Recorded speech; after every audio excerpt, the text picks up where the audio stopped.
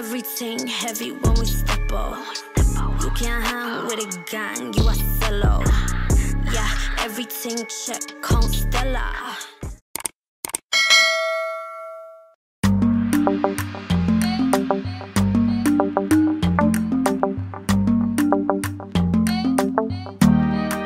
Wagwan beautiful people, I am Chev B. If you're new to this channel, welcome Wagwan. Make sure you are subscribed down below.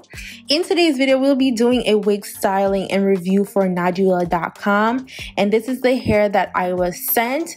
Now this hair is a honey blonde highlight wig. It is in 24 inches. I got the body wave in a 13 by 4 lace frontal. So this is what the hair is looking like straight out of the package. So I'm doing a quick shed test.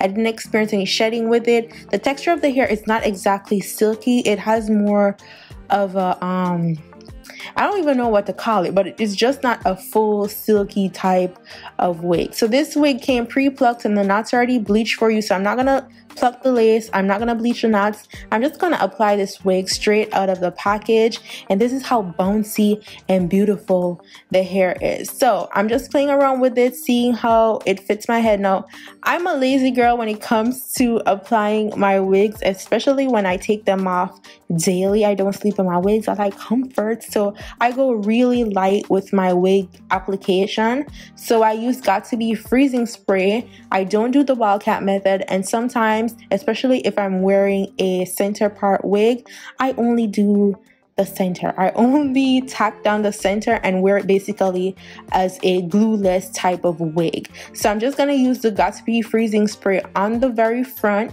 and then I'm gonna take my blow dryer to melt the lace. So this is how I apply my wigs for my lazy girl type of method. It's less tension on your edges. You don't have to worry about bald spot or that tan line we that you usually get when you use like stronger application. Like it's super easy to achieve and the wig is secured because it has combs on the inside and plus you're using the Got2b freezing spray so it it adds enough hold for you for your wig to feel secure. So I just cut off the excess lace once I like how my wig or my lace is aligned.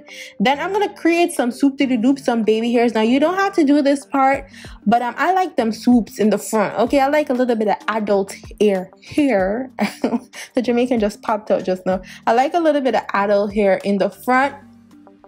So I'm going to take my scissors then I'm gonna spray the Got2b freezing spray on my edge brush and we're gonna create them swoops, okay? Nothing major, nothing big, nothing overbearing, just something real easy and light. So first I go in with the wax stick, then I go over that you can use a hot comb or you can use your wand iron. I had my wand iron heated up already because I was going to use it so I just went ahead and used that. And then touch up the swoops and that is basically it. Then I'm going to go up go in with the pump it up spritz and this is what I'm going to use to do the final melting for my lace especially to lay it down for wherever lifted while I was cutting off the excess lace or when I was adding the Got2b freezing spray on top of the swoops. So I'm going to do the tension method and that is using an elastic band to actually melt the lace of the wig so that it, you know, melts straight into your skin like it looks like scalp. So I'm going to go back in with the wax stick and you can get a wax stick on the website or on Amazon or at your local beauty supply store. It's just a wax stick that people use on hair. And then I'm going to go in with some really light oil to prep the hair to use the wand iron. Now with blonde hair, sometimes they tend to get a little bit trashy depending on the quality. This hair was like 150% density, so it's pretty full.